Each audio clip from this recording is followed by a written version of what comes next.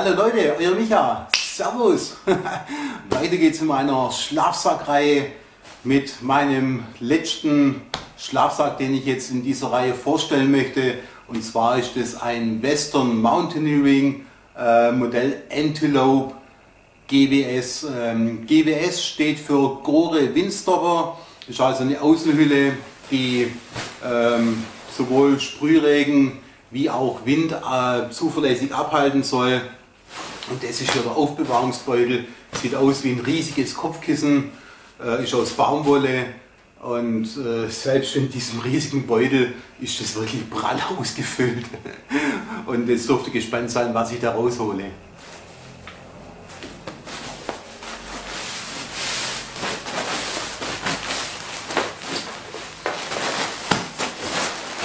Das ist mein momentaner ganzer Stolz, was Winterschlafsäcke betrifft. Das ist wirklich ein, ja, ein absolutes Qualitätsprodukt, anders kann ich es nicht sagen. Ähm, ich habe den jetzt äh, zweimal getestet, einmal auf dem Balkon und äh, einmal draußen in der Natur.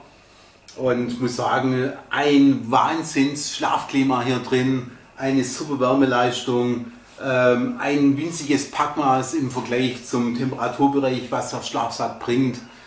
Natürlich, klar, äh, wir sind auch preislich im High-End-Bereich hier angelangt. Ähm, schaut einfach selber mal nach, wenn euch der Preis interessiert. Ich möchte jetzt, möchte jetzt nicht näher darauf eingehen. Ähm, aber das ist wirklich eine Klasse für sich, anders kann man es nicht sagen.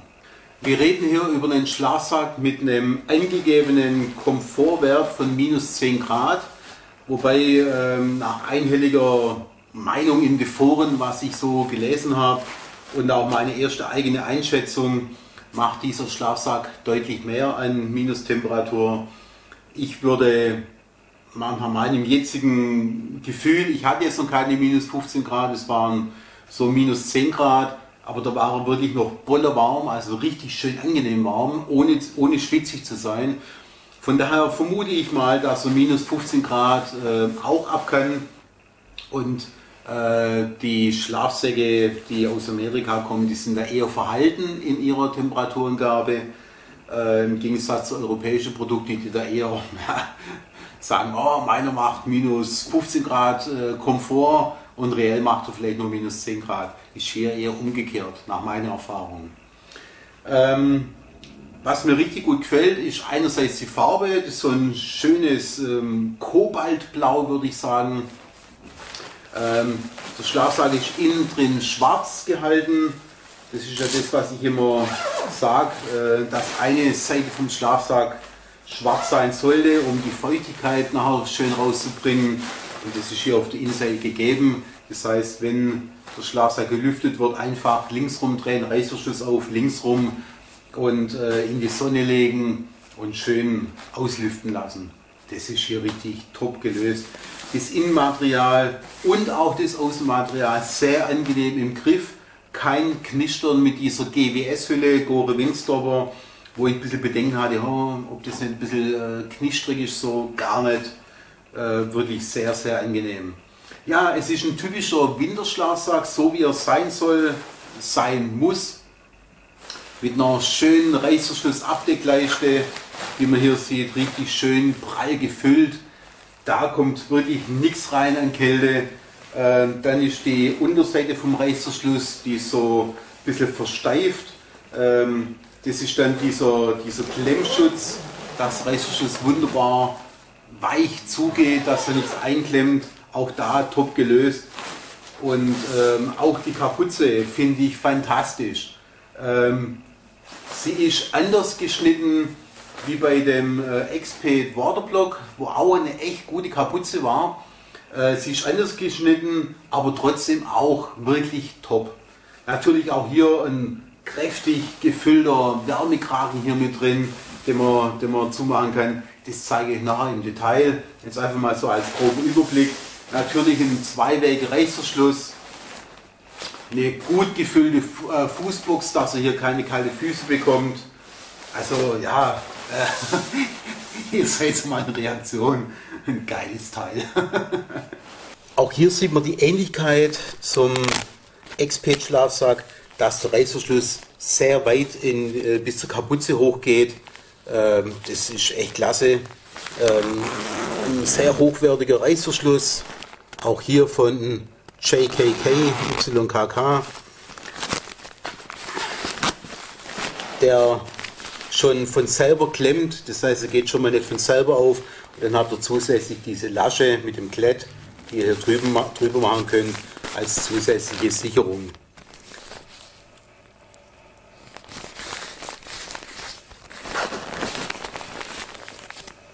Natürlich könnt ihr auch bei diesem Schlafsack die Kapuze verstellen. Auch hier mit zwei Bändel.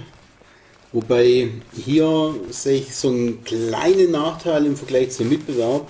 Die Mitbewerber, was ich bisher so vorgestellt habe, die haben ja zwei verschiedene Bändelarten gehabt, also Schnürearten, einen breiten und einen runden, dass man einfach nachts, ohne jetzt äh, rumfummeln zu müssen, erkennt, habe ich jetzt die Oberseite oder die Unterseite, die ich verstellen möchte. Ähm, da ist vielleicht noch ja, so ein bisschen ähm, Nachholbedarf bei Western Mountaineering. Wenn wir jetzt den Schlafsack aufmachen, dann seht ihr einen prall gefüllten Wärmekragen hier drin.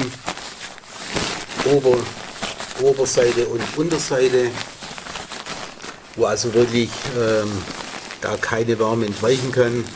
Dann habt ihr hier an der Seite so Gummischnüre auch mit so einem Tanga-Verschluss, dass das Ganze elastisch bleibt, dass es nicht so abschnürt. Das ist auch richtig cool gelöst. Und ihr habt bei diesem Wärmekragen ein Klettsystem, das hier in sich selber geschlossen ist, also dass hier keine Kleidung dran hängen bleibt, wenn das offen ist. Das heißt, ihr macht es auf und dann wird es hier gegengeklettet und dann ist dieser Wärmekragen geschlossen. Das finde ich ein richtig gutes System. Hier seht ihr das eingenähte Label von Western Mountaineering, ähm, wo man einfach sagen kann, Mensch, die Firma, die steht hinter ihre Produkte zu 100% und ist auch stolz drauf. Da ist nämlich der Name von der Näherin drin, die diesen Schlafsack gemacht hat, als Qualitätskontrolle.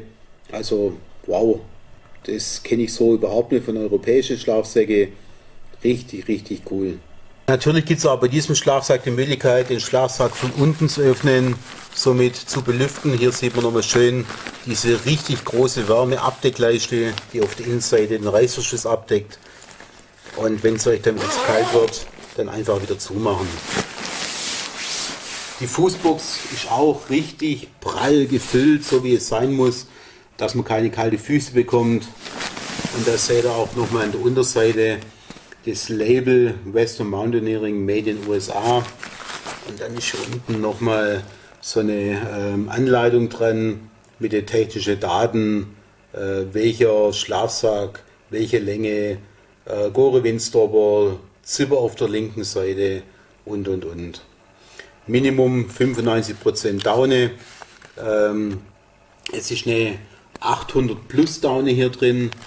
Ähm, ja, also so was ich rausgefunden habe, ist es wohl eine handverlesene Daune bei Western Mountaineering, wo die auch da auf höchste Qualität Wert legen.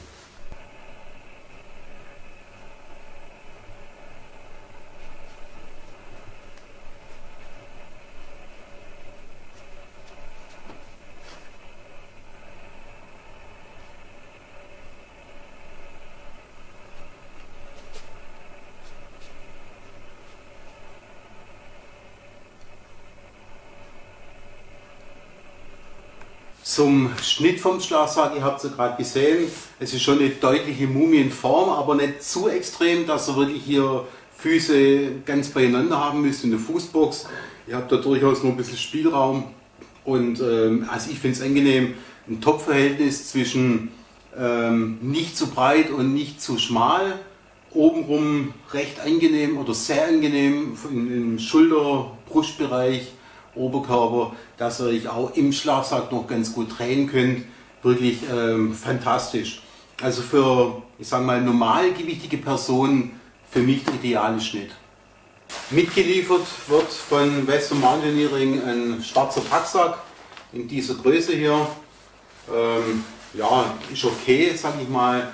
Aber ich lege bei so einem Schlafsack, vor allem in dieser Preisklasse, ähm, möchte ich keine Kompromisse eingehen. Und deswegen habe ich mir auch da für diesen Schlafsack diesen Sea to Summit Packbeutel äh, zugelegt mit diesem Event-Material, das wasserdicht ist und gleichzeitig atmungsaktiv. Das heißt, ihr könnt die Luft, äh, die sich in diesem Beutel befindet, oder vielmehr die Luft, die im Schlafsack ist, ihr reinstopft, kann über das Gewebe entweichen. Ihr könnt den, Beutel weiter komprimieren und habt trotzdem einen wasserdichten, wirklich wasserdichten Packsack. Und das finde ich schon äh, ein absolutes Feature. Und jetzt gucken wir mal, ob wir den Riesenschlafsack mit einer Lufthöhe im Brustbereich von 25 cm, Wahnsinn, oder? 25 cm, das ist, das ist echt ein Knaller. Ähm, ich merke schon die Wärme, wenn, wenn er hier auf meine Beine drauf liegt. Das ist, das ist so angenehm. Und nochmal, Leute, ein Downschlafsack in einer hochwertigen Qualität mit einer guten 800 oder über 800 äh, Daune drin. Das ist ein Schlafklima, wenn ihr einmal drin geschlafen habt, ihr wollt es nicht mehr missen. Glaubt's mir, probiert es mal aus. Leiht euch vielleicht von dem Kumpel mal einen guten Down-Schlafsack, wenn ihr noch auf Kunstfaser äh, unterwegs seid, dass ihr mal einen Vergleich habt. Das Gefährliche daran ist, ihr werdet mit ziemlicher Sicherheit äh, dann sagen, weg mit meinem Kunstfaser, es muss ein Down-Schlafsack her. Aber ja, gönnt euch sowas. Ähm, das ist einfach ganz wichtig nach einer schönen Tour, vor allem eine Mehrtagestour, wenn ihr unterwegs seid, lange Strecke macht, dass ihr abends einen richtig erholsamen Schlaf habt, da richtig äh, euch erholen könnt und am nächsten Morgen voller Tatendrang und Elan wieder in den nächsten Wandertag starten könnt. Ich habe den Packbeutel in der Größe M jetzt äh, im Vergleich zum Cumulus, wo ja der S gelangt hat weil ich hier doch deutlich mehr Füllung drin habe in dem Schlafsack. Und da ist es noch viel mehr Arbeit. Ähm, die ganze Luft jetzt erstmal hier vor, voraus ähm, etwas rauszuquetschen, dass ich den Schlafsack hier überhaupt reinbekomme.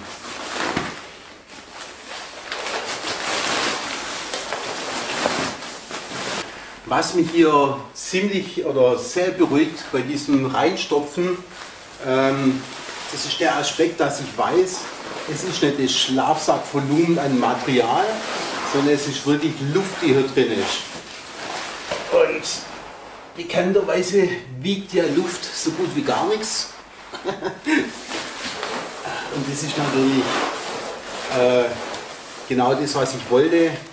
Einen deutlich leichteren Schlafsack, für einen, Winter, Wintereinsatz mit einem deutlich kleineren Packmaß. So Leute, es ist vollbracht. Hat deutlich länger gedauert wie bei den anderen Schlafsäcken, diese ganze Luft hier rauszubekommen. Jetzt muss ich oben noch zweimal den Verschluss drehen, dass es auch wirklich wasserdicht abschließt. Dazu muss ich jetzt erstmal ein bisschen Luft noch ausdrücken. Ich höre das richtig zischen. So. Und jetzt kann ich diesen Steckverschluss zumachen. So.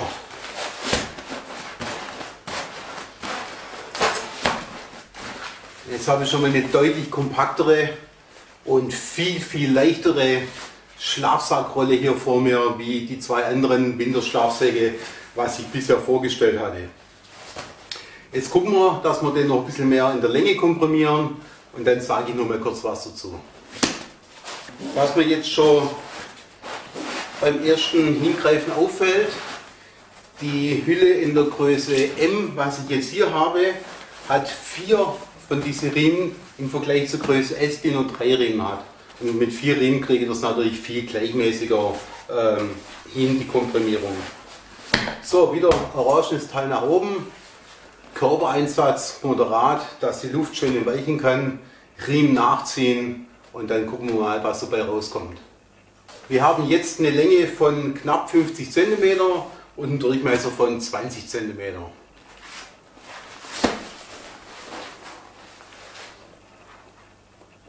Schön langsam drücken dass langsam die Luft entweichen kann.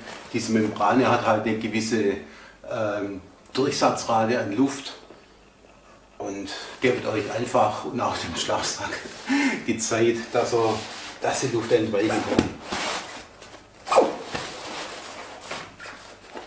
Und weiter möchte ich jetzt den Schlafsack gar nicht hier quälen mit der Komprimierung. Ich denke, mit weiterem Körpereinsatz wäre noch mal ein, zwei Zentimeter drin. Aber Leute, ganz ehrlich, für den Winterschlafsack minus 10 Grad, angegebene Komforttemperatur, das ist doch mal eine Ansage dieses Packmaß, oder? Und ich messe es jetzt euch nach. Wir haben jetzt eine Länge von 33 cm und nach wie vor die 20 cm äh, Durchmesser, weil Durchmesservolumen kann man hier nicht komprimieren, sind dann keine Gurte dran, die jetzt hier quer drüber gehen würden. Aber das ist doch mal echt eine Ansage. So, jetzt zeige ich euch nochmal den Vergleich äh, zwischen Carinthia Defense 6, Exped Waterblock 1400 und dem Western Mountaineering. So Leute, der abschließende Vergleich meiner drei Winterschlafsäcke Defense 6 Firma Carinthia. Knapp 3 Kilo Monster, Monster, Monster. Dann nicht viel weniger Monster der Exped Waterblock 1400 in der Ausführung LL lang links mit 2,6 Kilo und last but not least der Western Mountaineering Antelope. Das ist doch mal eine Ansage, oder?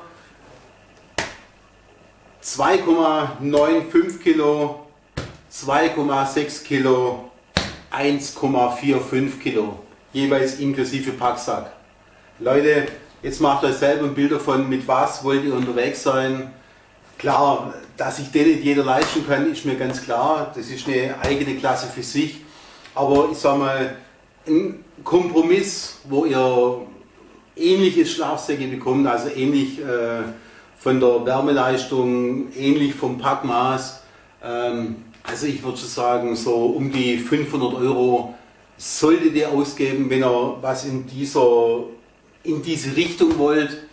Wenn ihr nicht ganz so viel ausgeben wollt, wie der Westermann kostet, ich würde schon sagen, so um die 500 Euro sollte ein Winterschlafsack äh, euch wert sein, wenn ihr Wert legt auf kleines Packmaß, geringes Gewicht und eine richtig gute, angenehme Daunenqualität.